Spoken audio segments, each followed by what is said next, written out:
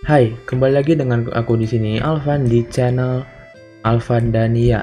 Selamat datang di Tuper Tutorial Server. Dan di series Tuper kali ini uh, aku akan memberitahu kepada kalian semua gimana caranya kalian itu membuat quest ya. Seperti yang di kanan itu kalian bisa lihat sendiri Stone 97, Netherrack 77 dan kawan-kawan. Dan oke, okay, gimana cara membuatnya? Langsung saja kita mulai. Wih.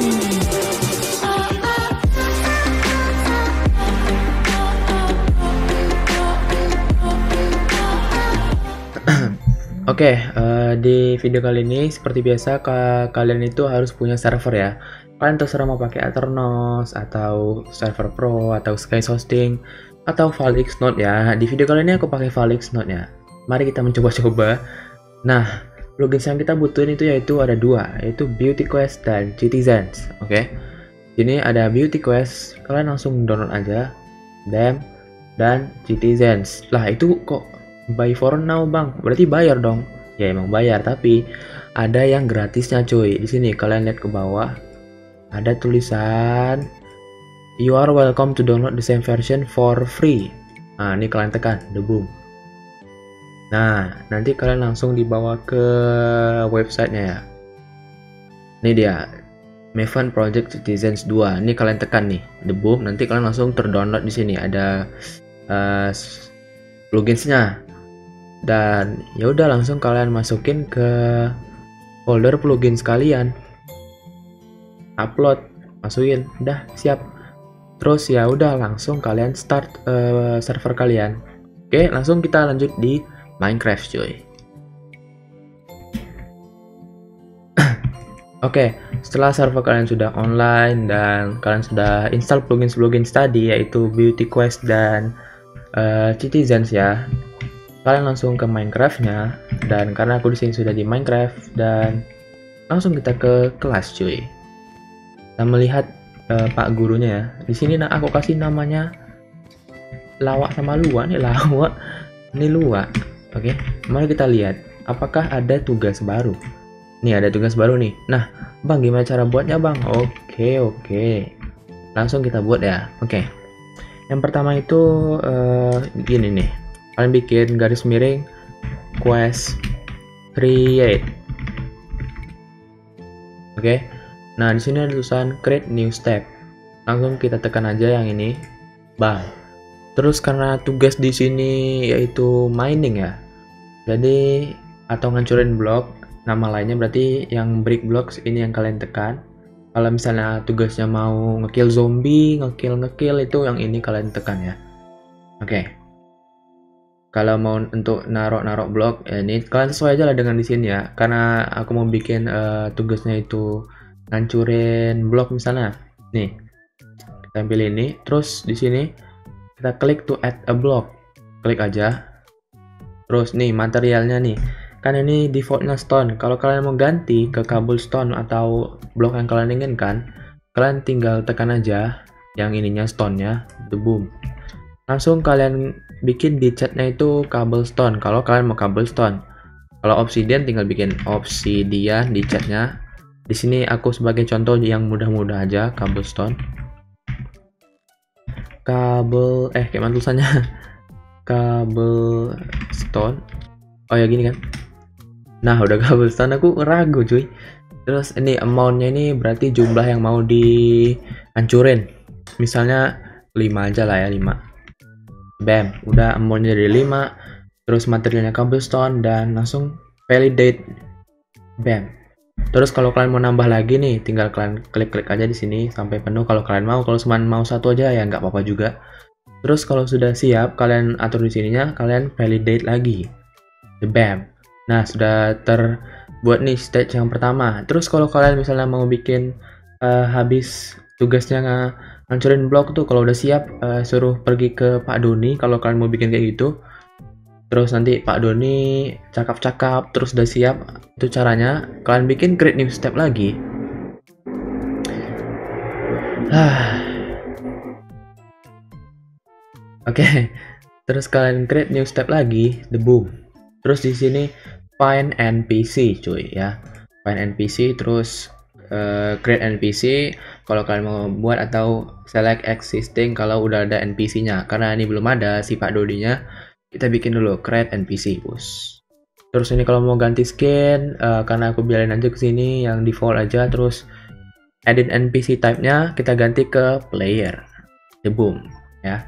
Terus namanya edit name-nya uh, Pak apa ya Pak Doni lah. Ya Pak Doni namanya. The boom, the boom. Udah kalau udah siap kalian atur di sini, tekan validate dan langsung muncul si Pak Doni ya, oke. Okay? Terus ini kalian pilih yang ini gambar buku nih edit dialog. Kalau mau pakai dialog ya. Nah, kalian bikin gini, NPC untuk uh, si Pak Doninya yang mau bilang ya. Uh, dah siap, bos. Ini misalnya. Nah, terus player. Kita nanti ini yang kita percakapan kita nih. Uh, udah Bang Jago. Terus NPC-nya jawab lagi uh, uh, oke, okay, mantap jiwa. Terus NPC-nya bilang lagi uh, ambil tugas lagi nah. No terus playernya kita bilang uh, ya elah ada lagi. Nah kalau misalnya ada kesalahan kalian tinggal bikin clear terus nanti ulang lagi percakapannya bikin percakapannya. Kalau udah benar kalian langsung close aja close the bam nah oke okay, udah siap kan? Nah terus uh, misalnya segini aja ya. Terus kita validate di sini. Terus kita bikin nama questnya uh, tugas. Uh, tugas hantu lah terserah terserah kalian. Terus ini edit quest descriptionnya uh, coba-coba bos. Udah oke. Okay. udah kan? Terus uh, materialnya karena tadi brick block jadi wooden uh, pick pickaxe pick pickaxe pick apa oh pickaxe nah uh, karena tadi uh, tugasnya itu mining jadi kita bikin wooden pickaxe pickaxe semoga benar.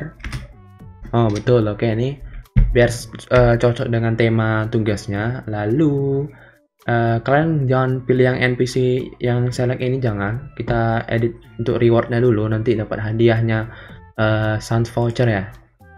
Kita tekan boom terus uh, edit reward. Nah kita tambahin ya rewardnya item type nya paper. Terus namanya. Dan uh, dan 6 dan L. Kalau kalian nggak ngerti kode-kode warna dan sebagainya tuh kalian bisa lihat di deskripsi ya. Ada aku kasih nanti websitenya. Biar memudahkan kalian cuy sans voucher.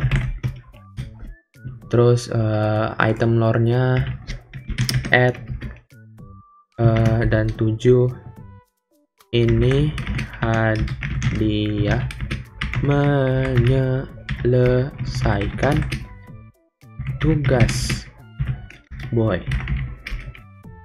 Dah dah ter-add. Terus close Udah siap kan? Data nih sound voucher udah ada, langsung kita validate dan validate lagi dan validate lagi. Dan karena semua sudah siap, kita buat langsung create quest cuy. Dan yep, sudah siap questnya cuy. Nah, udah ada kan? Debum, debum, debum, hantu kayang. Oke, udah ada. Nah, bang, uh, aku kok belum uh, oh bukan bukan. Nah bang gimana cara bikin si Pak Lua ini bang? Waduh. Gini cuy ya. Misalnya kita buat di sini nih. Eh npc create Pak Lua. Nah nah terbuat nih si Pak Lua nih. Uh, terus kalian bikin npc select untuk seleksi Pak Lua ini terus kalian buat gini deh ntar.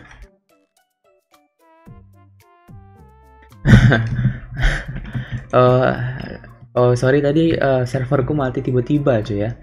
Nah oke okay, kita lanjutin tadi sampai mana? Oke okay, gimana caranya uh, masukin GUI nya ya bikin kayak gini waktu kita tekan nanti NPC nya muncul quest gini ya? Oke. Okay.